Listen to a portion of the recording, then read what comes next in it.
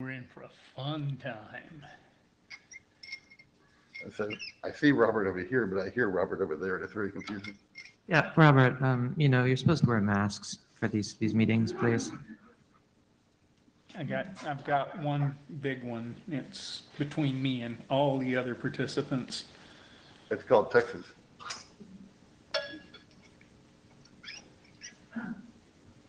Cleverly arrange the uh, exterior temperature to sterilize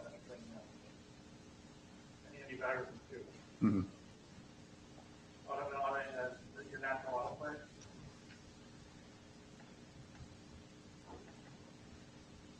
And actually, it's time to start. Okay, so we've got, uh, looks like we have our authors. We've got who we've got, so uh, I guess we should get going. You, you want to, you want to MC? I'll drive, because I guess it's all my machine that works.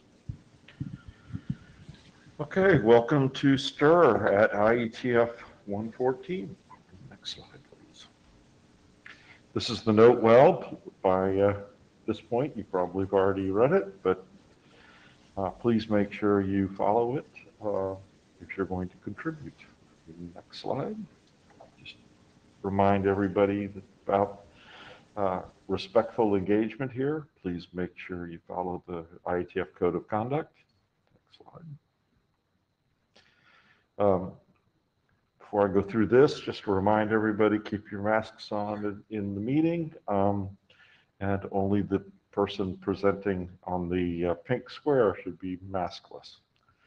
Uh, Thank you. Next slide. Um, This is the agenda that we posted. um, Several, uh, well, I don't believe weeks this is ago. the agenda that we There's a posted. missing item, is it, or is that another I page? think that we're missing, yes, that looks more like the agenda that we posted. Yeah.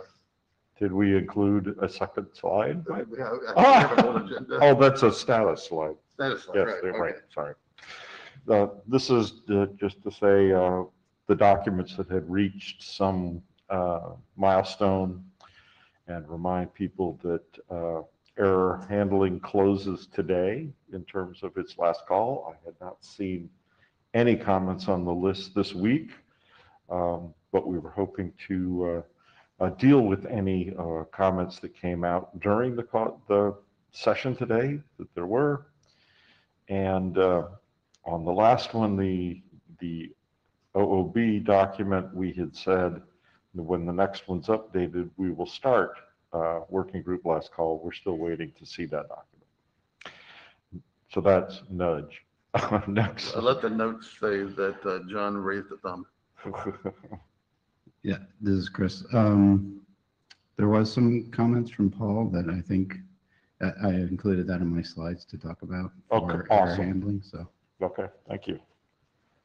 Been a little uh, distracted from my email this, uh, with the And- new and- going. One comment here, I think the uh, version numbers have all updated since we made this slide, at least the first two. No, the first two have, that's correct. Uh, Next. And this is the agenda, the one that was posted um, a couple weeks ago. Any agenda bashing? And Then let's proceed with this. is RCD? At End of RCD. this, okay, now I gotta remember how to change. Yeah, you close it, open Close it, it, and, open yeah. the next one, Okay. And this is RCD.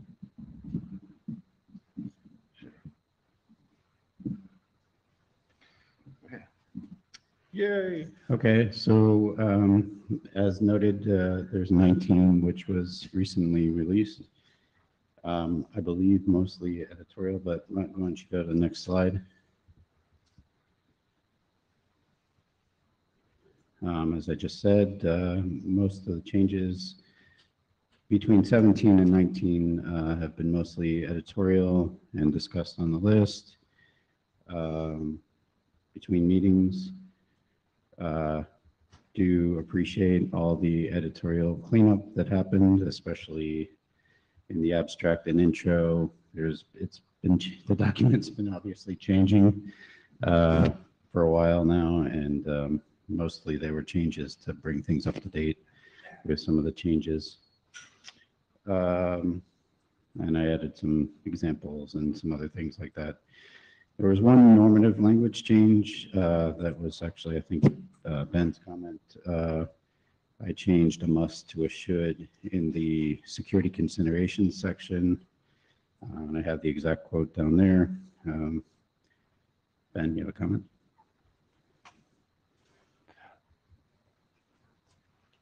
I was just going to say, I think my comment was about the normativity, not necessarily the must versus being, must versus being should. It was along the lines of trying to make normative requirements on the ecosystem. Um, Seemed kind of dodgy to me, but I don't have a strong feeling there one way or the other. So I don't know if it's. Well, are you saying that even with should as being a normative thing or? You know, I, I guess I'm okay with should. It's still normative, but, uh, I guess, I- I I guess my intent was to make it, I don't hate it enough to push another revision unless there's other reason to. any uh, comments about that? I mean, I guess, I think the statement, we want to make sure people are thinking about appropriate policies uh, along with this, but, um, and I think that was sort of the spirit that those normative comments were implied, but um, I'm okay either way. I don't see anybody objecting, so. What, what, if it's, what, what it's not?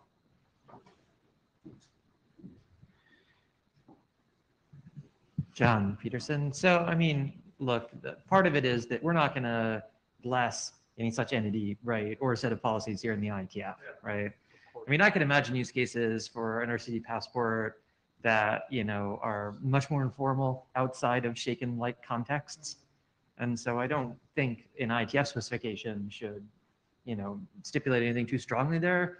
And I agree, the, the wording here is kind of tortuous, right? It's got the MRCD passport lowercase must follow some form of vetting in which, and then should follow an applicable policy of an ecosystem. Um, I just, I don't think we want to require that an ecosystem have such an applicable policy. That's really what it comes down to. I mean, you have no, if the, the, everything follows the. the- the- We have remote, we have remote people, Yeah. please. Not Mr. Lennox. God, but I mean, I guess. And you and know, you could- technically, we should be using the cube, Yeah, sorry. go ahead. I guess everything follows, you know, follows the null policies trivially, but I guess maybe that's, you know, not interesting to say. Also, there's something wrong grammatically with that sentence. Yeah, I'll admit I missed the first must.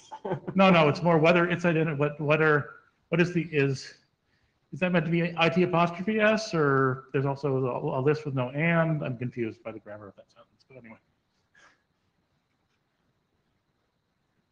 Okay,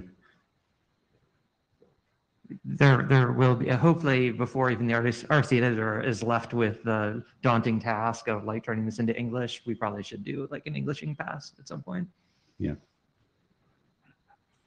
Do we see 20? well, there will be a 20 no matter what, but I, I guess the question is, does that happen before Working Group last call or not? We're in working group last call. Or getting out of Working with last call, sorry, I apologize. So the question to me is whether you want a 20 that gets sent to the area director or you want to send 19 to the area director. I was gonna say.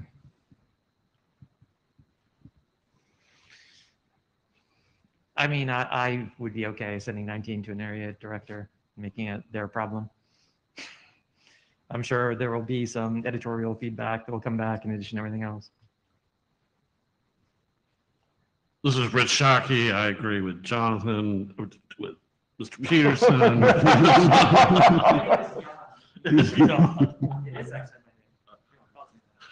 Okay. I would certainly support sending 19 forward as soon as practically possible. There is a queue of implementers ready to use this uh, sooner rather than later. Fully agree with that. So what I uh, heard is we're going to leave this grammatical error in there to see if the AD notices. Okay. I, I will comment, this is Ben again. Uh, The clearer it is, the quicker it will get through the initial AD review. Um, I don't think this is necessarily a clarity problem, but just something to keep in mind. Or, All right, we're going to send it today. You already have the, the. I'll Right. work on that. all right, I think the next page is, Did I jump too far? no, we're good. Oh, okay, So can the authors please send me a statement about the IPR so that I'm not waiting on that when I do the write-up? Yes. Okay. Thank you. okay, so close that. I think I do have it already started. Next is, uh, what's next on the agenda? I don't have the agenda. up. Okay. Wow. Next is messaging. Okay.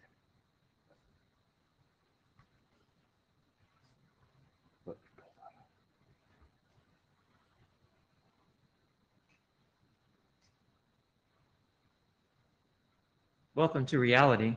This is Billy in reality. It's not just online. Um, although many are on. Next slide, please. We're about to talk about messaging. And I'm going to try to talk through a mask because I think it's the first time I've ever given a talk through a mask. We'll see how it goes. Um, so as you can see at the top of the slide, there was a draft IETF stir messaging 03.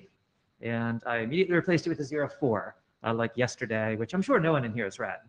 But for those that have not been following this work, just, you know, like a page turner novel, um, what this draft basically is suggesting is that the systems we built for STIR, especially the certification systems that are now widely deployed and are being more widely, widely deployed uh, worldwide, you know, probably could be repurposed to handle text and multimedia messaging instead of just setting up telephone calls.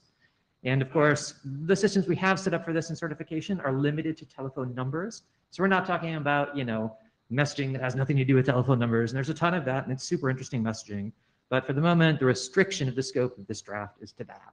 I will remind people, however, that is not a restriction inherent to passports or to their transmission in STIR, just to the um, certification systems we have specified here in the IETF so far.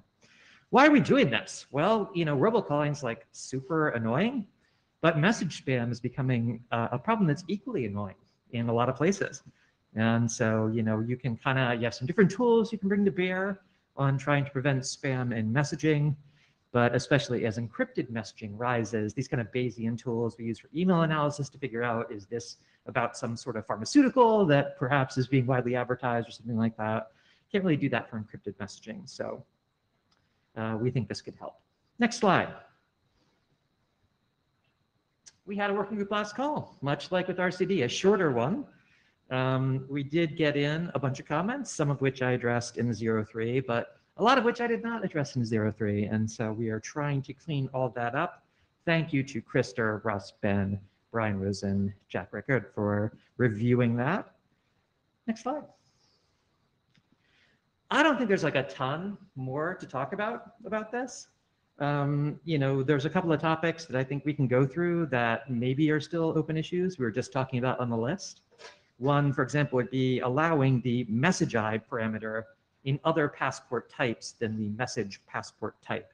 What is message I? This is basically like a hash that's over the content of the message, in particular the MIME body.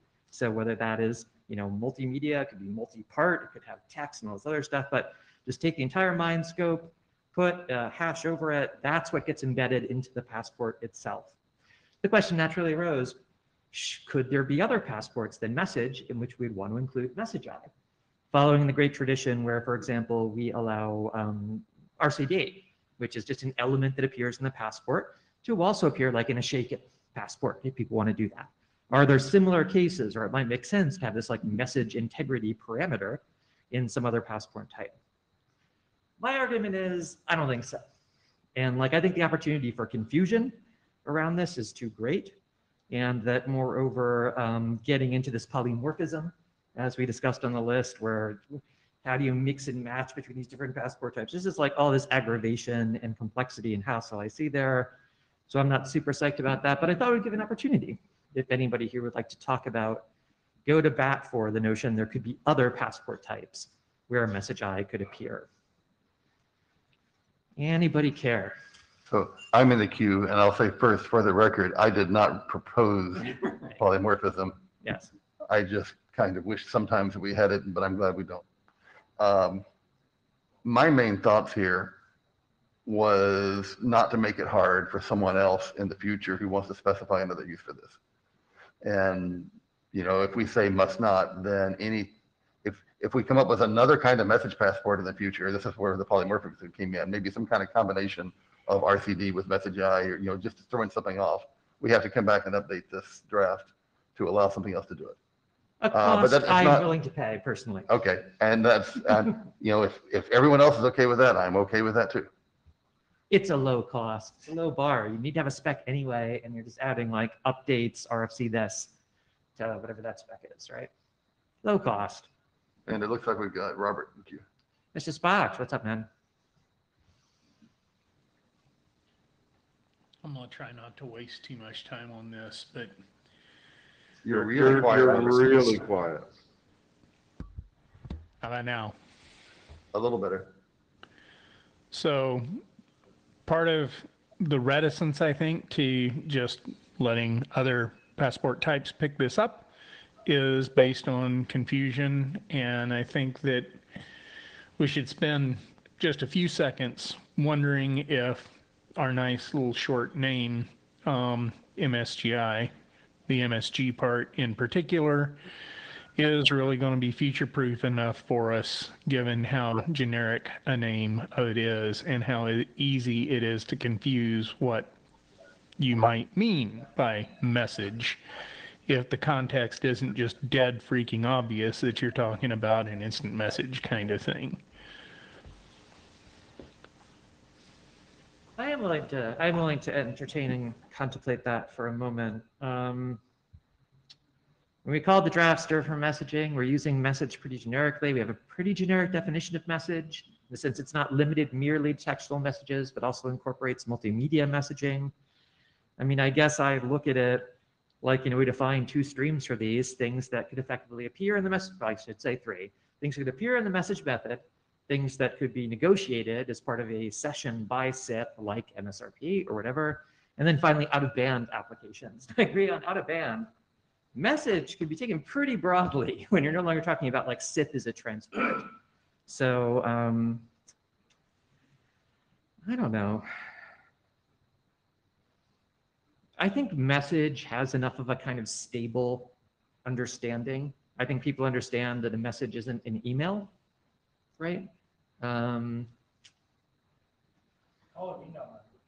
you can say email message, it's true.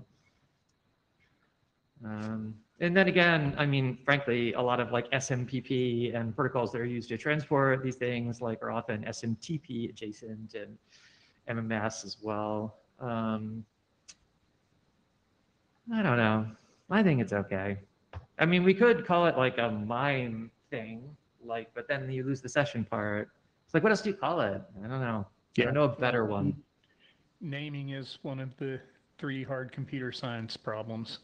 And I'm willing to leave it alone. I just wanted to kick it around for a minute. So, you know, the, the kind of potential confusion I can see at an implementer's layer, um, especially if your implementers aren't um, native English speakers, is is this thing some sort of you know integrity check over the datagram that the passport appears in, kind of thing. So, you know, um, but I'm I'm perfectly willing to leave it alone.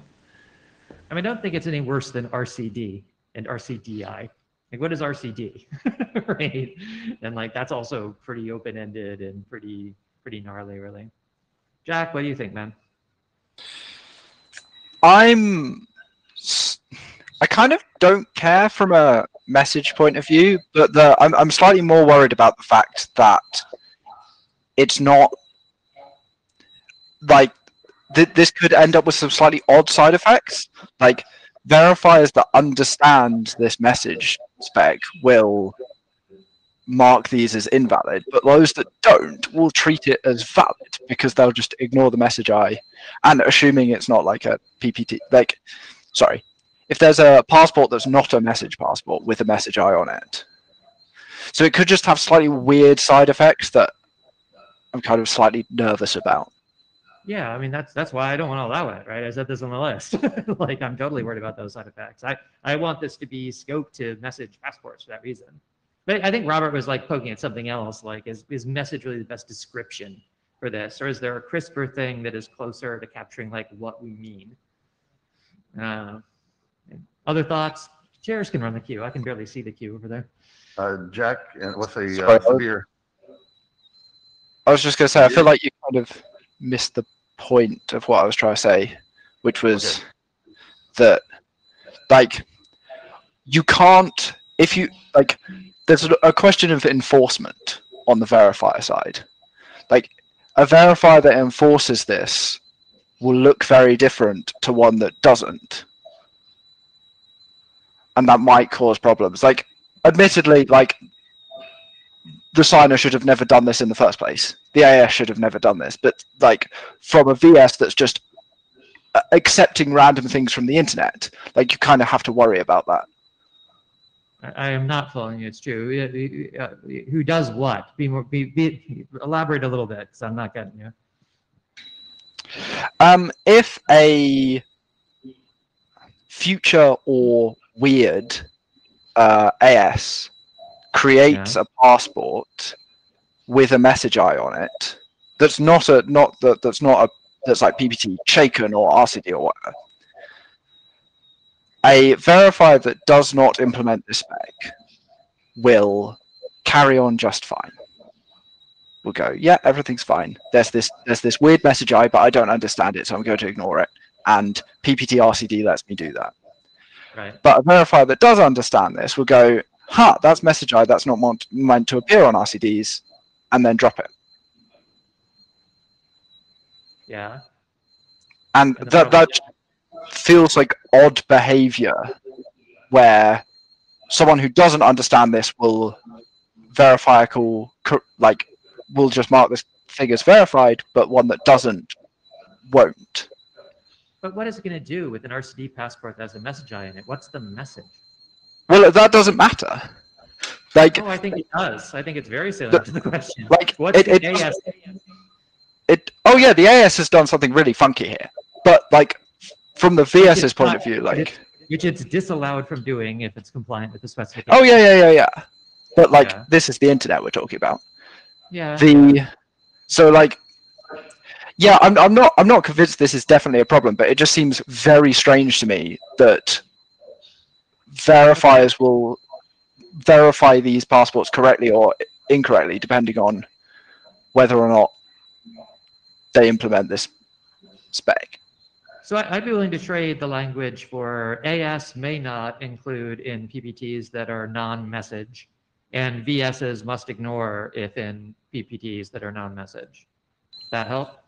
that would make me much more comfortable Okay, I can do that. Wait, what's that last part? So it was ASs are disallowed from including message I in non-message passports, and VSs that receive message I in non-message passports should must ignore. It just, it, it- I mean, it, it's kind of what's implied, but it's not stipulated directly by the text that's there now. I can do that. Severe? So there. Uh, Thanks. Uh, So John, I think that first uh, bullet point, um, sorry, I, I need to review the document. I I must confess that.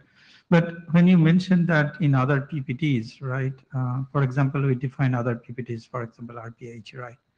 Yep. Uh, We defined, right? So do we need to do anything for those PPTs or No, no. are you suggesting that's uh, Because none of those PPTs stipulate using message I at this point, right? Like? RPH, RPH is already in RC. It doesn't Correct. say anything about using message I, Correct. right? So we don't need to- this is, this is basically, again, it's a way to prevent, there's a particular confusion that is like the inverse of what Jack was just discussing that I'm worried about, Okay. which is a case where somebody intends to be saying there's a message I want integrity over. They send it in a non-message passport type. Oh, And the shit. semantics of the fact that suppose we had a message are lost if the verification service doesn't recognize message I at all. And so a passport that was intended to be securing a message could be viewed as being valid for like a telephone call, right? And I'm concerned that there's like a little bit of security weakness in that if we don't clamp this down. the language I was discussing with Jack, I mean, it, it's a, you know, it's a much crisper and, you know, more specific version of the language that's in the draft today. I think that gets at what I'm trying to prevent. Okay. So I think key is the non-passport types, right?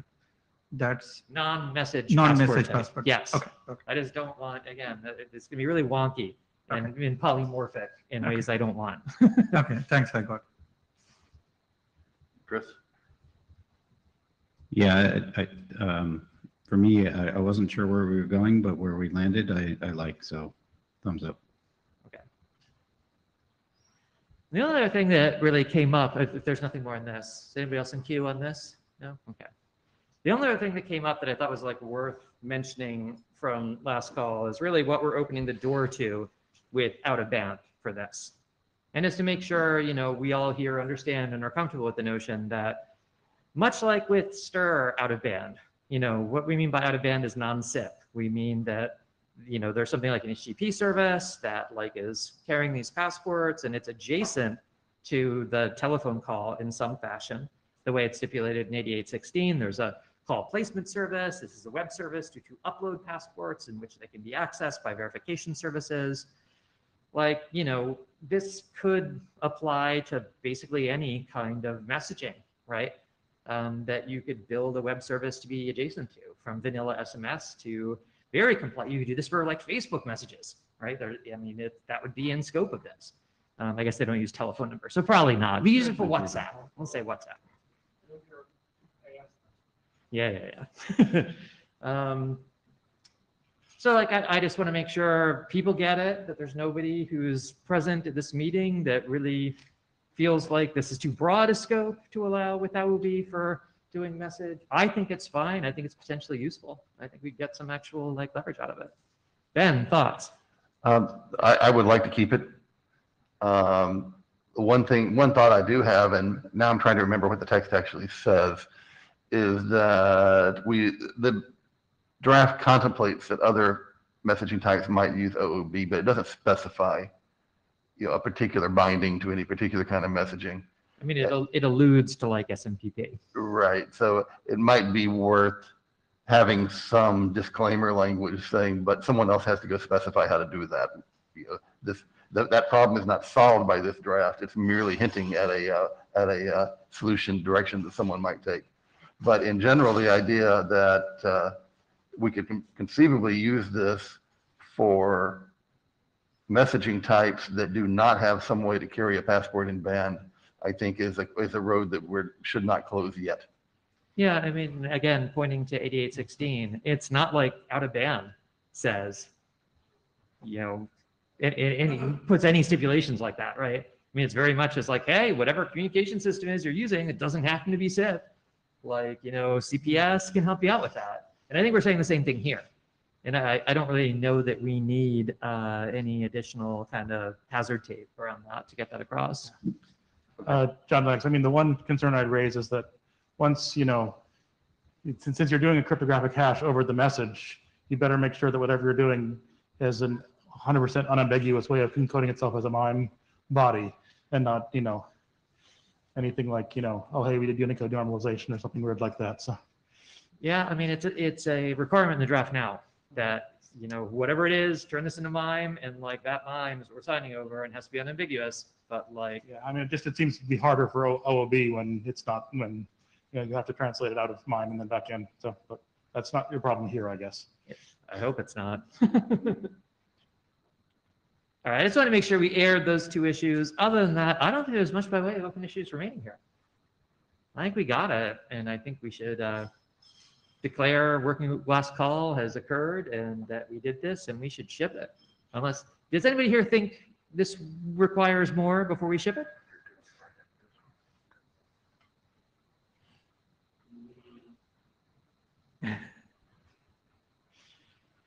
Hearing no such sentiments, I will leave that matter to the chairs to resolve. And no, did anyone put anything in chat? No, not, not this few seconds. Okay, just making sure. So John, just one question. This version is the one you think is ready to go? The zero four, yes. Right, so uh, it's just a matter of, I'll be the shepherd on this one, so it's a matter of me getting the proto write-up done and then we'll ship it. Mm, I heard I heard an agreement to add a little bit of text that you Agreed to probably add. want to add. Uh-oh. Did, I did just agree to that and I'm totally going back on it. Well, like, so Jack, would you be cool if we did that insertion after IETF last call? That would be a typical way to resolve this. We just make sure we won't lose it. It's what, a 10-minute cycle to add that and, and push another revision? Fine, I'll do it. Just as long as it's close to the top of your new stuff queue.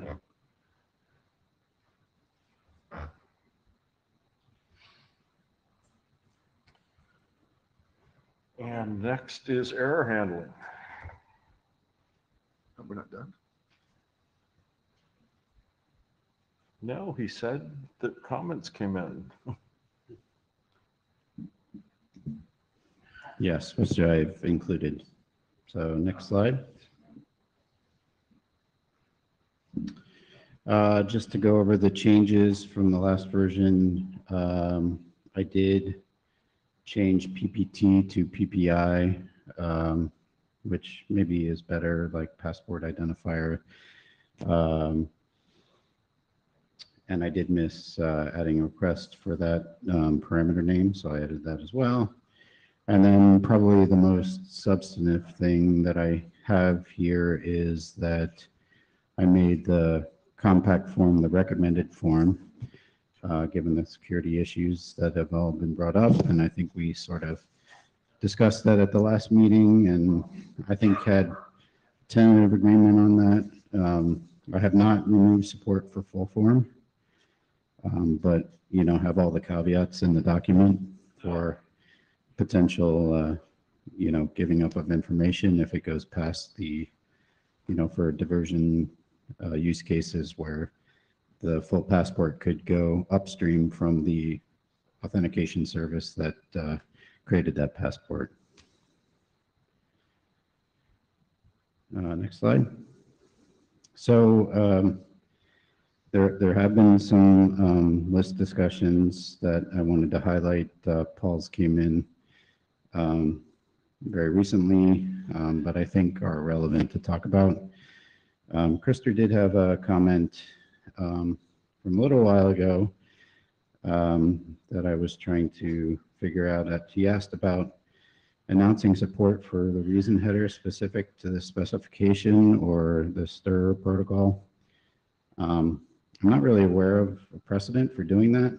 Um, so I was hesitant to include that, but certainly up for discussion whether, and there's any thoughts that this might be a good idea. I see Robert's in queue. Robert? I'm sorry, I put myself in queue anticipating moving on to the next point, so I'll remove myself and add myself again in a moment. Okay. Yeah, I was just gonna say, I mean, there, and correct me, this is a good Robert question and Ben question and other SIP Mafia people here. There's no like uh, supported, required, or whatever for a reason, is there? And then you, I, I went and glanced back at whatever that is, 3328 or wherever we, we specified reason. I didn't see anything like that, so. So this is Robert. The, You're No, very I'm- quiet again, Robert. um, it's, it's been a constant churn though, um, of a massive having this implied support signaling thing. And it, had- it did come up the last time we were seriously punching through reason. Um, and kind of remembering it coming in through history info and every time we've driven our way through the conversation in the past, we've ended up on that, that kind of implicit signaling is not helpful and that we wouldn't do it.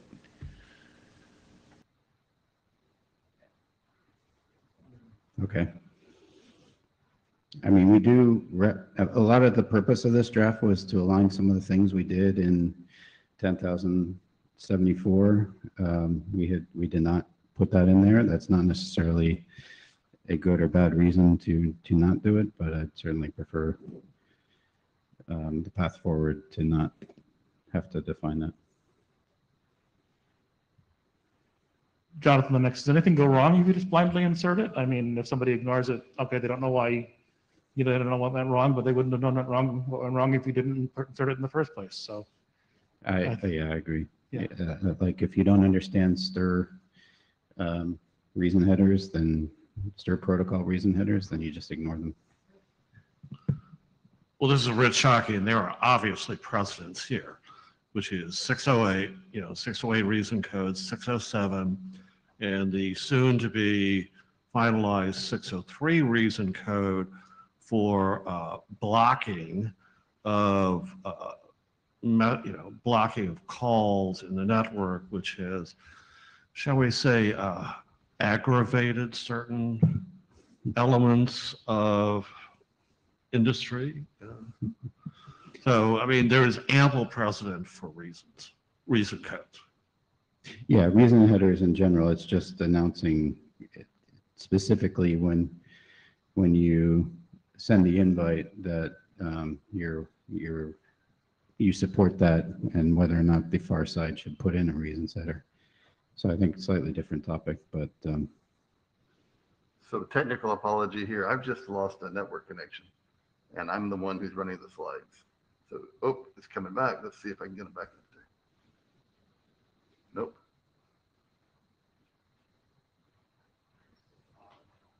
Okay, here we go. Uh,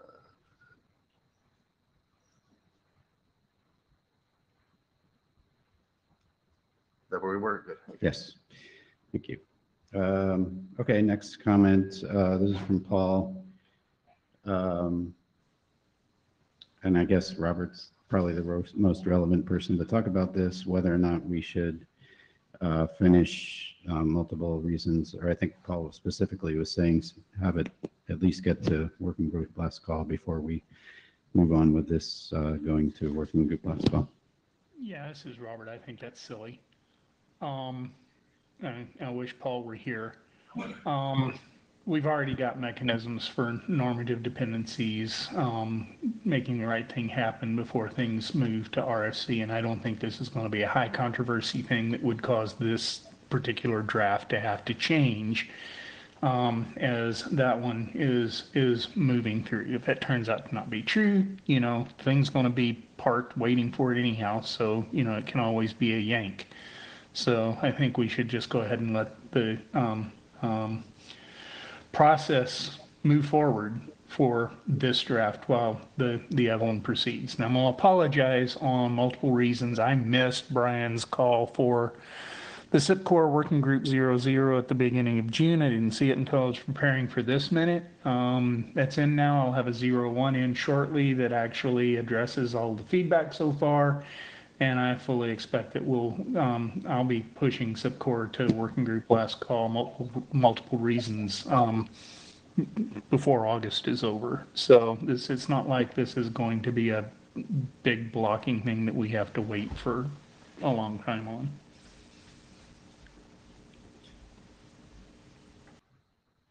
Okay? Yeah, this is Rich Shockey. I just want to add, and Chris, I don't know whether you want to incorporate it or not, but remember, reason codes may or may not have privacy implications. And I've already seen this in 607, 608, and 603.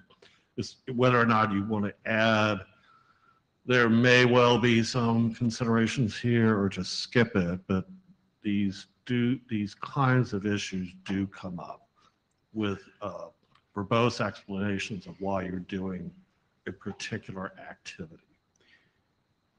Yeah, I think the identified privacy issue was that we included the full passport that had, you know, um, you know, the call, the originating number and destination number.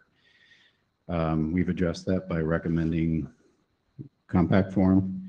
So I think that's the only thing that could potentially be an issue there, um, or at least that's come up as an issue. So I think we're okay with that one. Uh, Next one is um, being more explicit about the use case for multiple errors, or maybe even having an explicit constraint on only having a single cause code for each PPI. Um, I think the rules for that and the guidance in 8224 is to only, really, there can only be one cause code for an error from an identity header. So I guess the question is, would there ever be a case that there is multiple cause codes? Um, Or, or if there is, do we want to restrict that in the future? Yeah, I mean, this is Jon Peterson, sorry, and I'm not using the Q thing at all. I should, I should be better. Um, yeah, I mean, the, the, the constraint that's in RFC 224, really, we intended that cause codes, SIP cause codes set in the backwards direction, hopefully indicate repairable conditions, right? It's giving you information you could use to re-originate this request and this time use a trust anchor that's supported by the other side or, you know, fix whatever your syntactical problem is or something like that. Um, I mean, prima facie, I mean, there could be a ton of things that are wrong with any given, like, you know, passport and invite that you get that would, you know, potentially necessitate multiple such uh, cause codes being applicable. I, I guess I viewed it like you would do it onesie twosie, but, you know. So, I mean, I mean, I would be fine because this is a decision we made in 8224 was effectively, you know, Mhm. you're going to have a single um, expression of something that's wrong that needs to be fixed that you're sending back that's a reason for rejecting it. I mean, it's also important to note there can be like cascading conditions, like, okay, this is what I thought was wrong. And so I rejected it at this VS for this reason. Then you send it through and it's going to go to some further element that'll have some different problem with it that'll result in a different cause code being sent. So I'm not even sure that it's possible to try to consolidate what all the multiple Mhm. potential errors are associated with these things simply because it's an orchestrated service, right? Yep. Um, so I'd be fine with with having that constraint, but I also think it would it would probably be okay if we wanted to have multiple ones. If you are aware of multiple ones, there's no, you know, there's no no particular reason not to communicate all of them. So like, Yeah, I, I was sort of taking the tact of like, it's sort of already constrained based on the cause codes that are already defined, but, um, so no change is necessary and we don't know what's going to happen in the future to your point of cascading things Yeah. or other things like that. orchestrated services act. So I, I, I mean, I guess for the sake of simplicity, which is usually the right decision to make, I would do single. So make that change is what you're suggesting. Okay. I mean, like I said, it, this is one could go either way. If you'd rather not change it, I'm, I'm just saying like that's the decision we made in issue 24. Okay, I, I, I- yeah, I can make that change. Um, next one, should we not remove the reason header, but only remove PPI? Um, and this is only for the case of full form. Um, so that, um, I understand the request. Um,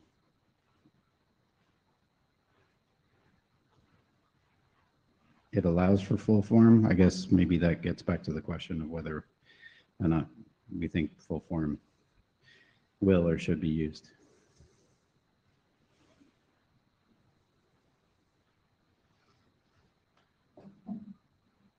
I guess I'm curious about precedent for this one as well. Removing a parameter versus a header. And this is, this is on the backwards direction from the AIS, to, just to be clear.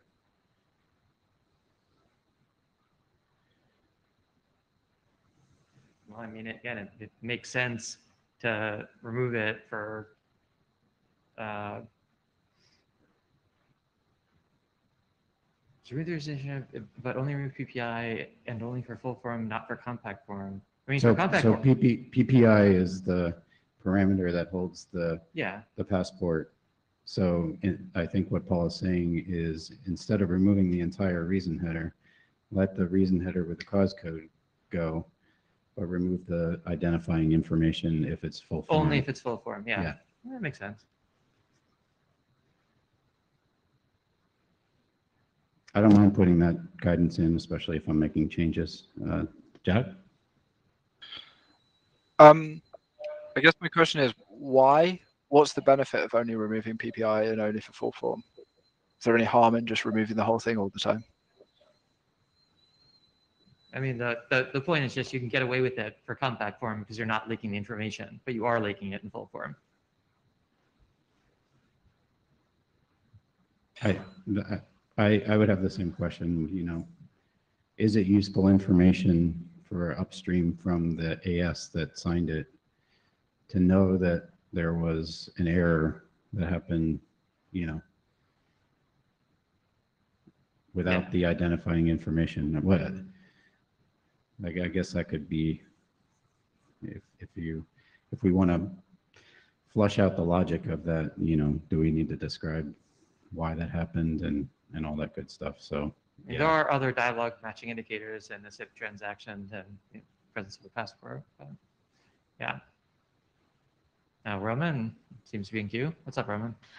I'm just thinking probably better to remove it because uh, that way, if you have a feature implemented somewhere down the line from uh, like some device, like there is a there is something which is signing and then it's getting back to reason, removes the reason, passes this thing through, and essentially whatever is the device upstream is not going to see any of the stir reasons or any of the new features. So it's kind of like makes it nice and contained to, uh, to the device which actually is implementing stir versus we're just passing some reasons with the new uh, reason pro- uh, with a new reason protocol somewhere upstream to a device which otherwise had uh, doesn't know or need care about any of that.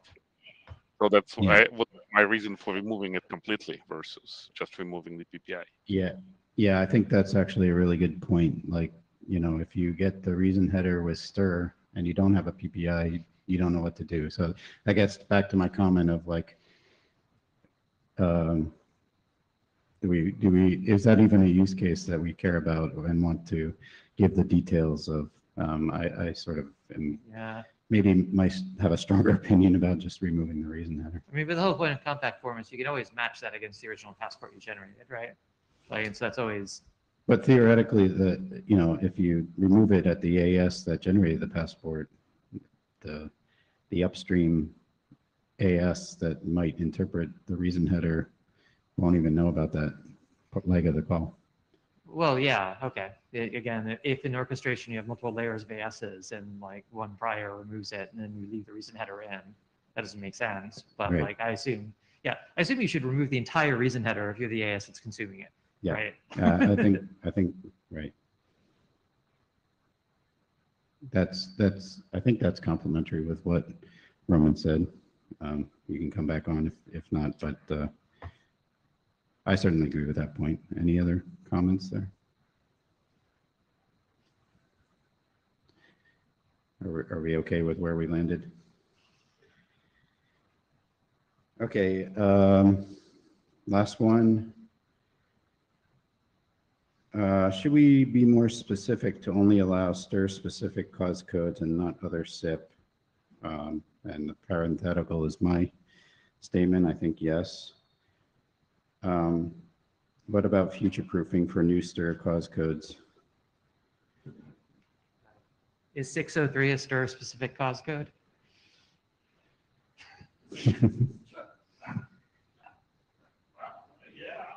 Well, I mean, maybe it is now, but it's certainly in RFC 3261, right? Um, and so six oh seven and six oh eight, I think we agree or we What- formally think on. What are the cause codes? I. Uh, well, six oh three is what the that came to oh mind, right? And now six oh three plus. Well, Well, but. Well, like, uh, But, but you're, think you're this- asking, uh, this is Rich Shockey. Yeah. You're asking about extensibility here, uh, in terms of cause codes.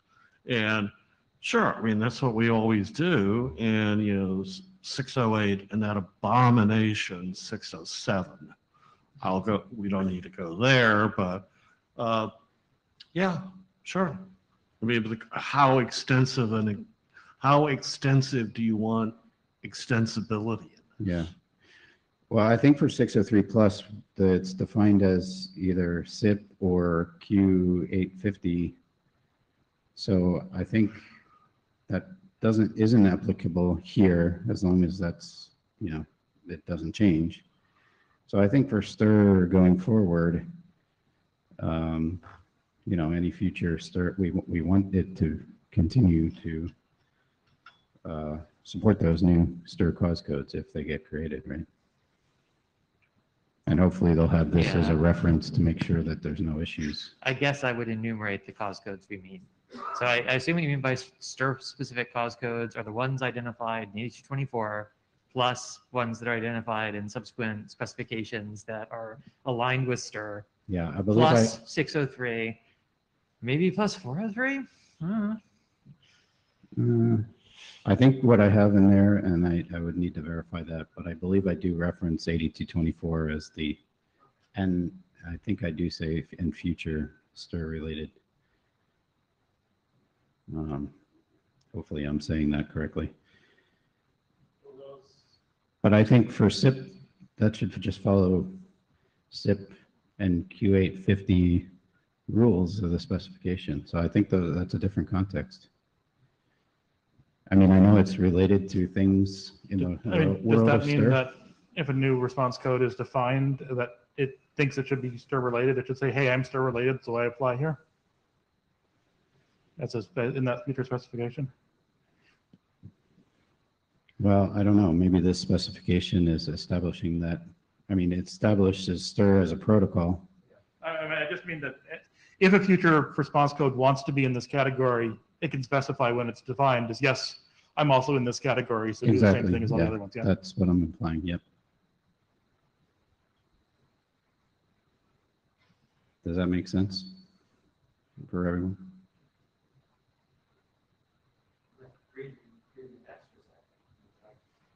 Yeah, that would be good.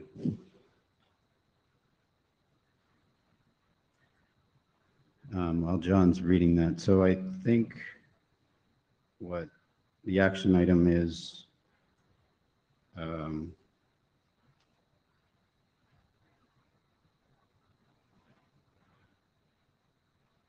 yeah, so on bullet, th- uh, three, um, being explicit about only allowing a single cause code. And for bullet four, uh, no change, I guess, right? We decided to keep reason header removal. Yes, I mean, this is Jon again. The way I read section four, I, I would, I think you- we're going to need to name at least a couple like other status codes that are in the scope of this, like 603. But we, do we want them to use s- switch to stir as a protocol? I don't think so.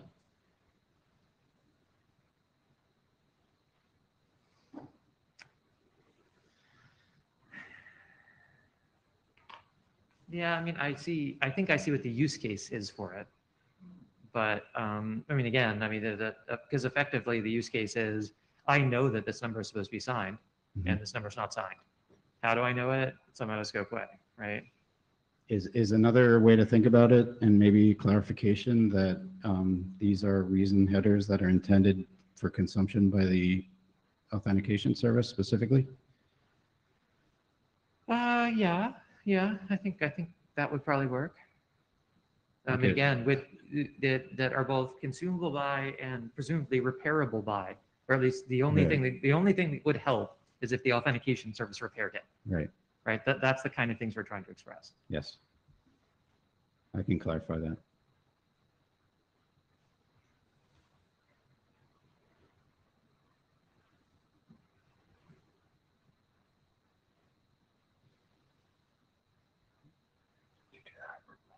Um, I can make some fairly quick changes for those items. And maybe we can discuss on the list, I guess. Just to make sure we get good feedback on those items.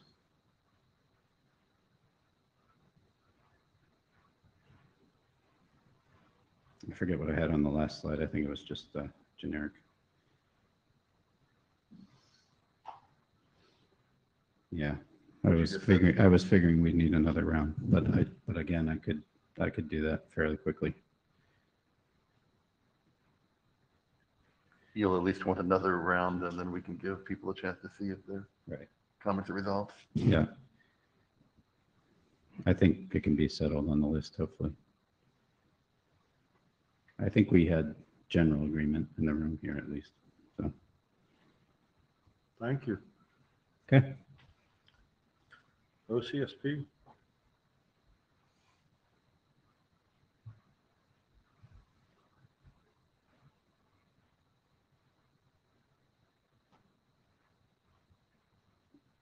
We are totally going to finish early today, which is awesome. You can go Yeah, like, We asked for two hours for like the first time in several meetings and we kept running over and now we're Yeah, just not gonna quite make it. we, this is Now we're just gonna go to the bar. entirely laziness on my part and Chris's part for not upping other specs that should have been up for this. Um, but yeah, let's talk about OCSP. Wow, this is so exciting.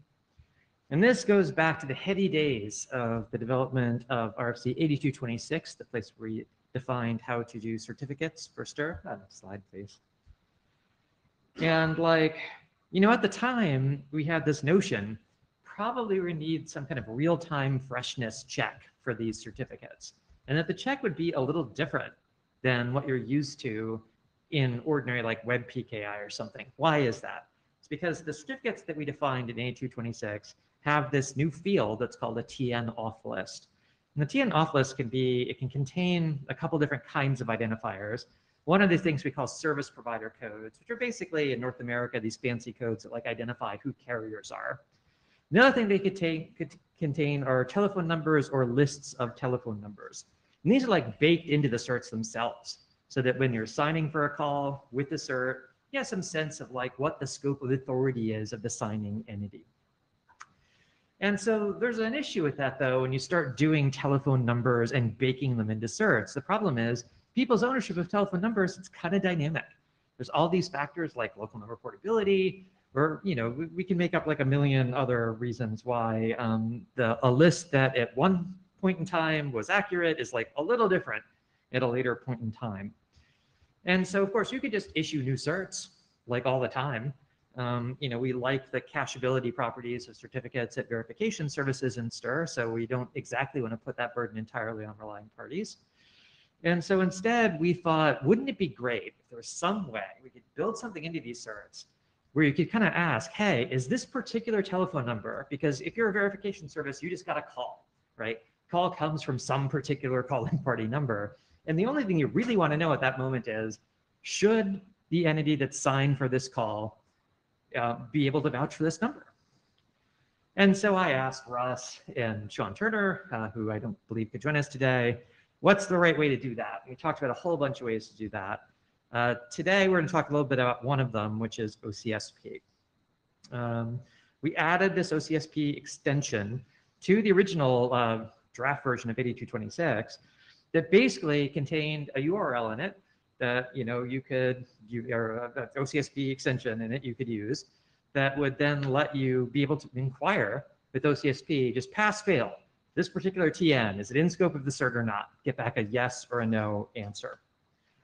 Ultimately we decided when we were doing RFC 20, 8226 we didn't like have enough uh, incentive frankly to include that mechanism initially in the scope of this work. A lot of people were using CRLs because a lot of people were using uh, service provider codes, these SPCs.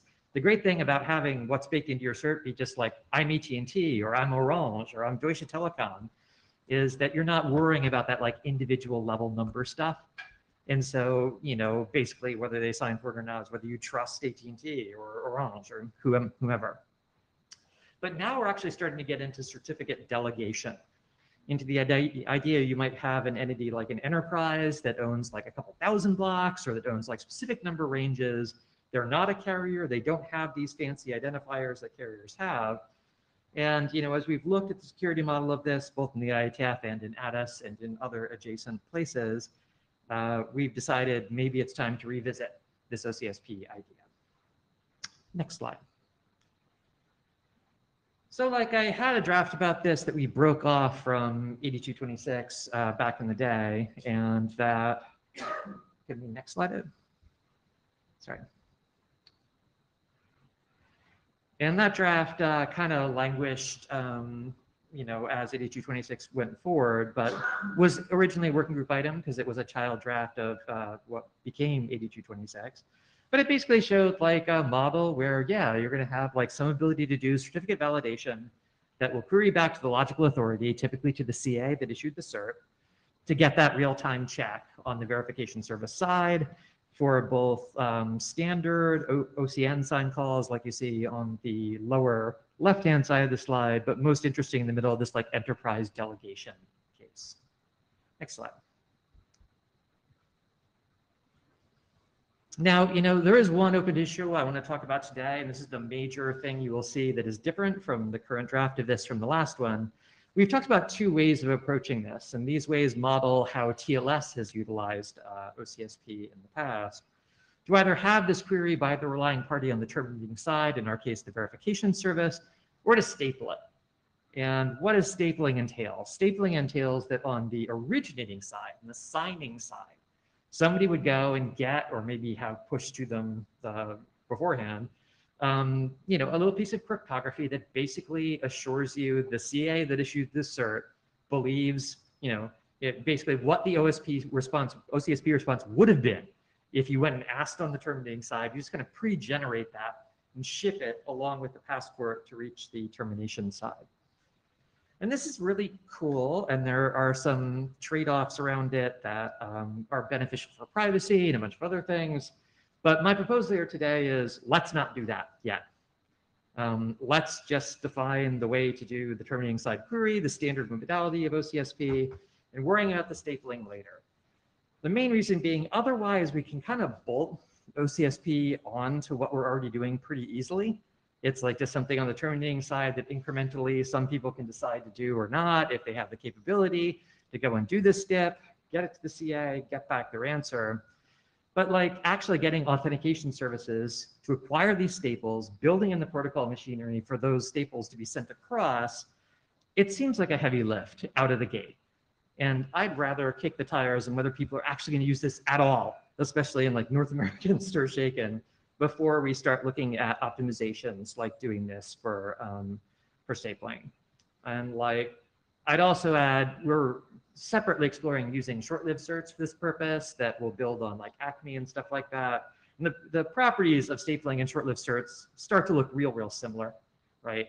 And it may be, you know, we'll say that if you want to push this to the originating side, it might be better to do that with short-lived certs than to do it with stapling. So I want to talk about that though. So anybody have any feelings about this? If we punted on doing stapling for now, would anybody here or on the virtual world barf over that? Any thoughts? Jack? What's the point of this without stapling? As in, you you said that the like kind of one of the benefits of like at the moment is that they're very cacheable, um, which speeds up verification. But if you have to do an OS o, OCSP dig every time, then that kind of negates the point of that, and you might as well just download a certificate. Yeah, I, I, well, I mean, so there's a difference between OCSP and downloading a cert, especially if what's in the cert is really complicated. I mean, as as you probably are aware, Jack, a lot of this discussion on the ATIS side is about people who don't want to do TN by reference, right? Where the AIA field contains the URL to a potentially massive list of numbers that are supported in the cert. And this is being offered up as a sacrificial lamb to prevent that from happening, right?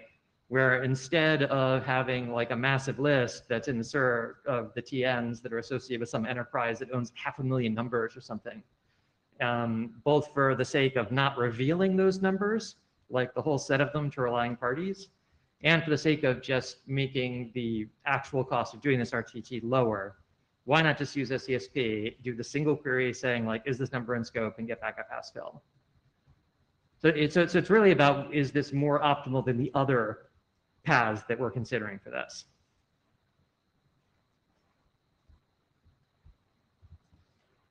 Because like I was happy to do TN by ref, right? I mean, that's all in 8226 already. And if your telephone number list is very simple and you aren't concerned about, you know, a relying party learning what the total set of numbers are that the certificate has uh, a scope of authority for, like, you know, TN by works. Then largely people in ATIS pushing back on that and saying like, no, that's completely unacceptable. That is like, led us to want to do this with OCSP that that discussion actually ended up in an interesting place. Well, the last time I was involved was actually ended up with everyone going by ref probably isn't what we want. We probably want something that looks more like OCSP or short-lived certs. And the discussion actually went towards like OCSP is basically identical to short-lived certs, and we already know how to do short-lived certs, so we should probably go think about that.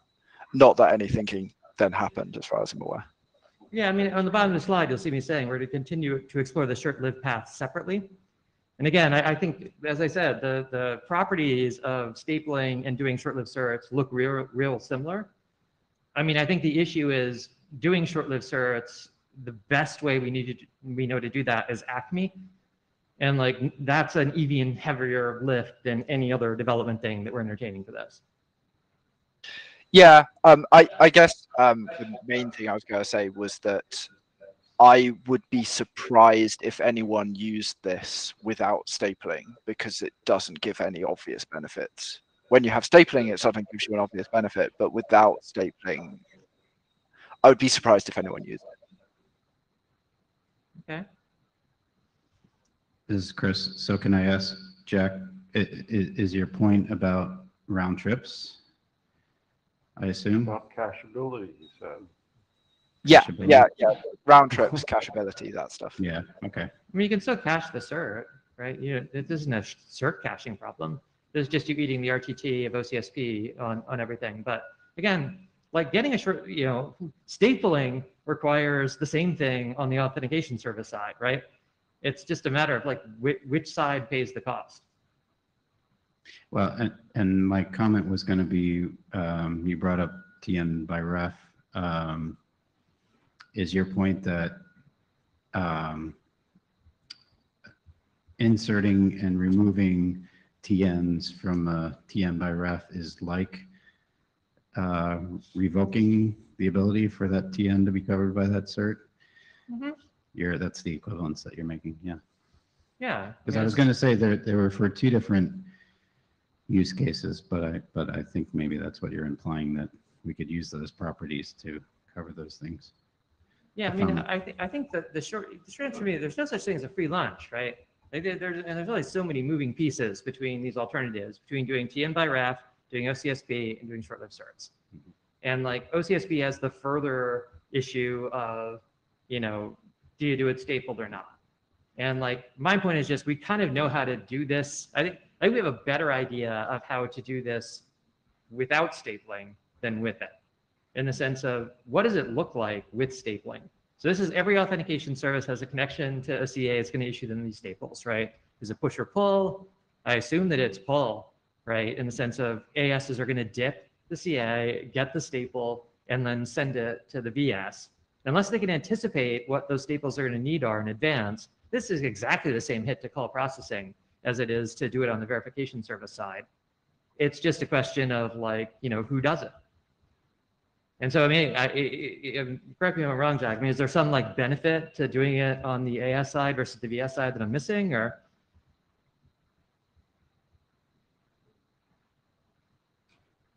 Like the staples need to come from the same place, right? and- and As just the, one- as the VS responses to OCSP do. I- And I just want to clarify on the short term, sir, you're looking at that as mutually exclusive. In other words, um, with OCSP, you have a long-term cert and you're using OCSP as the mechanism to To do revo- freshness. revoke it in Yeah. freshness. Yeah, okay. And I'm not saying let's not do short-lived certs. I'm just saying, as far as I know, that means doing Acme. And like that, you know, or at least that, that is the best way we know to do that. And we've tried to get Acme down people's throats in this forever, and it's been like a real, a real problem. I mean, Russ, can you, is there anything you can fill in for me? Am I, am I adequately describing the trade-off for OCSP versus stapled and not in terms of how the RTT costs are paid? Except for one thing, um, and that is OCSP includes a next update field. And so you can cache between uses of, if you're validating the same cert. On the verification side. Correct. Yeah, or line three side, yeah. Yes, that's true too. So you can think about like staples have an expiry, and so they can be at least briefly cached, Correct. yes. But I mean, the fundamental point I'm making is the RTT cost is paid on one side or the other. Mhm. And unless you can anticipate on the AS side the numbers you're going to need to get staples for, there, there is no RTT gain from stapling versus not. It, it will have exactly the same like call processing impact. So um, I think it's, you mentioned about that short-lived cert can be achieved the Acme drops, right? Which is TN authority token. right? Am I correct? So the short-lived cert is achieved by manufacturing the certs on the AS side. This is not done in real time call processing, right? This is something you do offline, like once a day or once an hour, once a minute, once a call, if I guess if you wanted, but let's pretend you're gonna do it once a day, right? And so you only pay that cost for generating the short-lived cert once a day. And so it does not impact call processing. Where you do pay the cost for that is in cacheability of the cert on the verification service side. Because the more frequently you update it, the more frequently the VS is going to have to execute, you know, dereference the X5U and actually get a new cert to validate passports. And so the overall costs of that are less, like, and they're certainly less for call processing, but like the, what, you know, the cost you're paying there is doing Acme Star or like whatever it is you're going to do that's actually going to get you those short-lived certs. Okay, so one other point I was thinking that how often these numbers are actually um, revoked or not valid for an enterprise, right? So that is also and maybe an important factor, right, to consider. But there's a ton of entropy. I mean, again, it's, it's, it's, any given number could be revoked at any given time or leave the scope of certificate of something at any given time. I mean, my company, Neustars, had a bunch of telephone numbers in uh, the plus one five seven one four three four, like 20 years, right? No, no- nothing ever goes in or out of that. They're just our numbers. So sometimes these things are super static, but then there are some enterprises for which it's actually quite dynamic. Especially when you look at things like um, non-carrier entities that are CPaaS providers, or, you know, people that have very complex number allocations that involve lots of porting in and out and things like that, but they aren't quite carriers. Mhm. Like that stuff is just brutal. And it's really those kinds of use cases that motivate us for this. Okay. And the last one is that, say, for example, if this is in place, right, then do we still need that, uh, the short-lived mechanisms which Acme can provide? Or we can solve this with this one? So I, I, at this point, I'm not counseling that we abandon that path. I say, let's keep looking at it. Let's look at this. I think this is kind of easier to do, which is why I'm presenting this today and not short-lived. There is a short-lived draft. It, you know, at least lays out what the major parts of this are. This, the fruit of this looks more low-hanging to me than any others. And we need something, I think, to cover the delegation cases that are now more and more in the wild uh, for Stir Shaken. Okay thank you. Uh, Jonathan Lennox, I mean, I just, I, I'll say first to reply, to one comment on that, and then the thing I actually came up to say, I think the question, important question is not how often does it change, but how quickly does it change? How soon do you know, how soon do you need to say, yes, this is dead, after you know it's done, you know, which is basically what you're, it's the, you know, DNS, uh, TTL problem. Um, but what I was gonna say is if you're not doing, if you're doing the terminating side, doesn't this, and you're putting the TNs in the OCSP queries, doesn't that mean the CA or the OCSP verifier gets to know every number that's, the telephone number that's calling that uh, VS? That seems privacy Yeah, so I, I, uh, I don't know if I have this on this slide in particular, but yes, it, I, I'm not sure it's a privacy issue, but it's definitely a, it is leaking information about the scope of certificates between corporations. Not just the scope, but the active number being used. So stapling does uh, largely mitigate that in the sense of because it's the authentication side that's actually one interacting with the CA for this. You're no longer going to get the IP address of the verification service that is sending you the OCSP query. That's definitely a part of this. Uh, nonetheless, I think it's it's an easier path and it's something that can like be bolted onto this. Again, because when you look at it like changing the AS side, you know, for this, then what happens if some ASs implement stapling and some don't? Versus what happens in the VS side of this if some VSs implement this and some don't, right? It's really a question of, you know, is the relying party in the driver's seat of this or is the AS in the driver's seat of this? I, I, you know, my analysis of this, and it's an incredibly complicated thing across the three options with all their sub options, where they can all be done, is that this this is the easiest thing for us to bolt on, is OCSP on the verification server side. I don't know. Is this, is this like where you need a hum or something? Are people okay with punting stapling? Is what I'm interested in hearing from the room, group, etc. Shall we do a raise of hands in Meetecho? And I guess the question would be, is it worth doing OCSP without stapling? Raise your hand if you think it is okay, it's Well- okay for us to initially specify OCSP without stapling. John, John raises his hand. So all you people think it's not okay. Well, wait a minute, he's still typing it. Okay, so you either raise hand or don't, or click the raise, or click the um, don't raise, or do neither, in which case you're abstaining.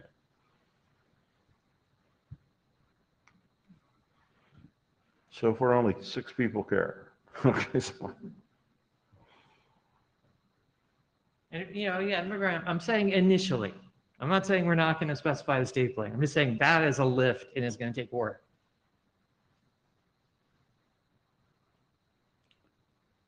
We need the game show music. do, do, do, like that. All right, we're gonna wrap this up in 10, 9, 8, 7, 6, 5, 4, 3, 2, 1, dismiss. Okay. So eight people think that it's fine to do that, and two think it's not. Anyone want to, anyone want to speak for the, those two that haven't already? Yeah, who, who still thinks we should not do this unless we do stapling? Please speak.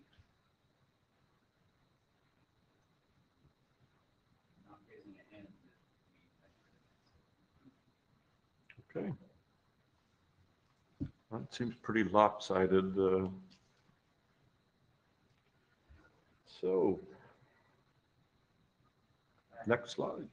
And I promise, I promise, we will get to the stapling part of it. Again, I just think it's, it's a lift. Um, but I will say that if we're agreed about that, I think this is probably pretty close, actually. Like I, I, I asked uh, Sean Turner to take a look. He sent me a mail earlier saying he'd taken a look at it. He thought, because we did this like five years ago or something, is when we, we spec this out. He still thought it was cool. Really, Russ, I would love you to take a look at it as well and make sure you Will still do. think it's cool. I think you did the module or something at the end of it. I did. Um, you know, but we could use some more eyeballs. You know, make sure that this uh, doesn't, nothing has changed in the last like five years that we should have been thinking about. Um, but if not, this this could be close to shipping. Actually, it's my my general impression. So I, I would ask the chairs to identify some reviewers who can take a look at this and explain to me why my previous statement about that was incorrect.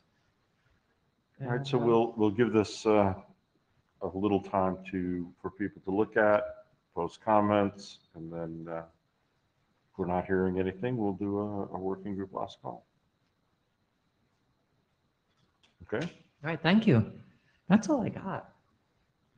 This is all we got for today. That's all we've got. That is all we have on the agenda except AOB.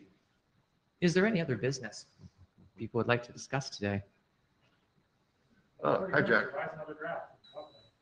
I just want to sneak in a question that I asked on the list and didn't get any response to, which might be because no one knows the answer. Um, in the certificates RFC, the TNAuthList is uh, only non-critical, which seems like a massive problem because anyone ignoring the TNAuthList um, does not correctly understand um, the scope of that certificate, and so will almost certainly be wrong. Russ, I'm looking at you, man. All right, Now, which extension? TN Off off. list. Oh, yeah, it's, that's interesting. So none of it's critical, right? None of them's, crit- no stir-specific extensions are critical because we felt at the time, anybody who got one of these would totally be part of the system and understand the ones in the base RFC. We didn't think. But if that's true, you might as well mark them as critical, right? I don't think it really matters for exactly that point, but it just seemed very odd to me. Yeah, I mean, Well, that was the thinking. yeah, that, thus far, we've imagined that these are very specialized you know, CAs, right, that are responsible for this, and that anybody's getting anything issued from them, or indeed anybody who is seeing anything signed by them, like, you know, has to be part of some closed or at least curated ecosystem. That sounds like it should be. You don't- understand, that this go away, you're not part of our. our- you our- I mean, Are you asking to open the RFC? Oh, okay. Just to be clear. I, I, I will say that a focused update is an option, but my second question is, who wants it bad enough to write it? yeah. Because if you want it, you volunteer. Hold your document update. If you revise it for some other reason. Yeah, let's, let's not revise 8226 at this point. That's why, it's just hearing. It'll happen eventually. This will all go away eventually. Yeah, but thank you, Jack. Um, Any other, other business? there's like a lot more stuff we need to do. We really need to get some energy behind connected identity. It's something that, um, you know, I, I think, you know, Chris actually gave connected identity a read. Uh, this is the RFC 4916 update draft. And I think he came away with a lot of the same kind of dispiriting sentiment, which I have about it, which is that we really need it, but it's really clunky.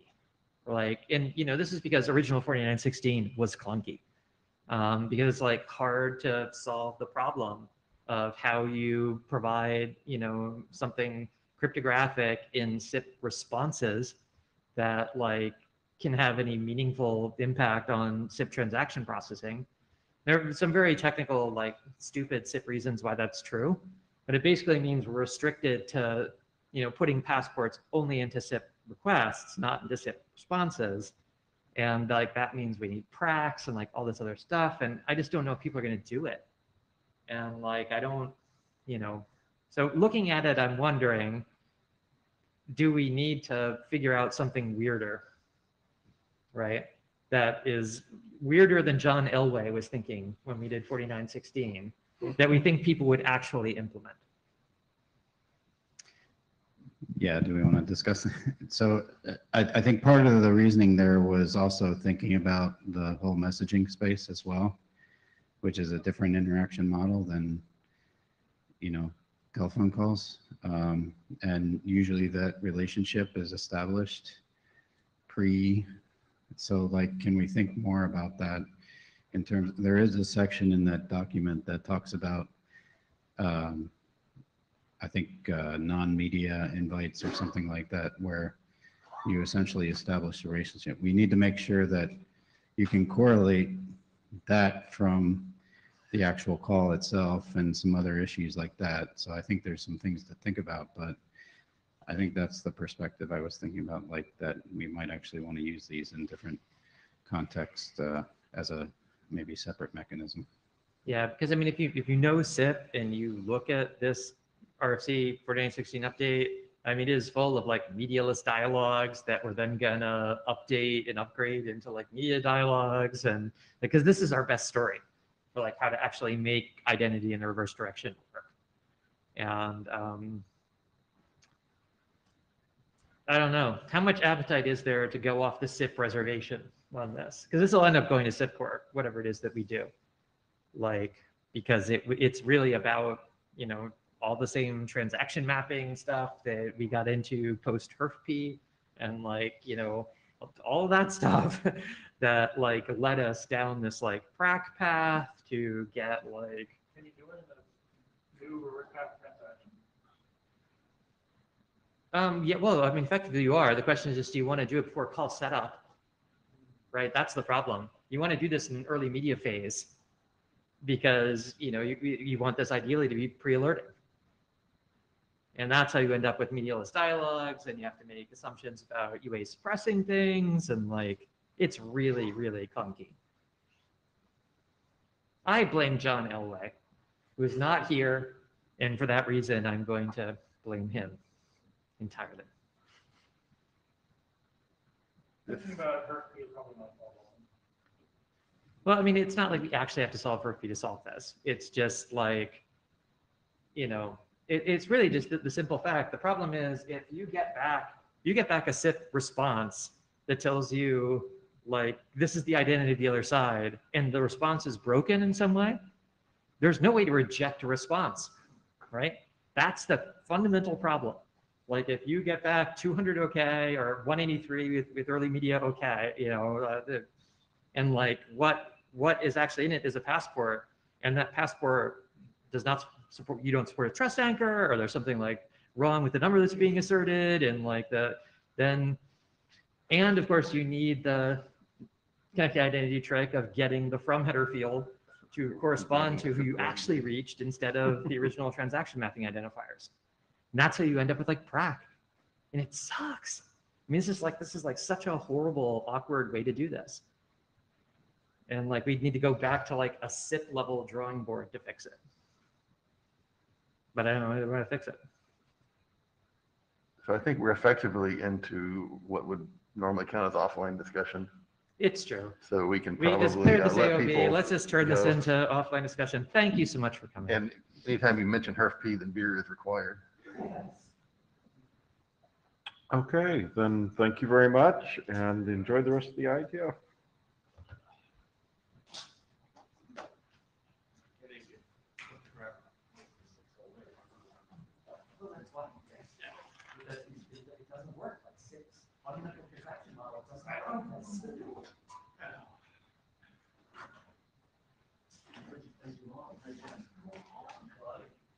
Okay, should have been a reverse test.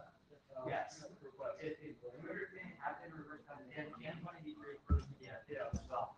That's about provisional. Is this the last thing of the day? Well, the social. Oh, yeah. Could be tomorrow. So Robert said that that Mary was poking around and, and changed it to eighty and watching, and that somehow committed the wrong email. Unless, ask Murray, that's Murray. I never can tell if it's. So is she the secretary?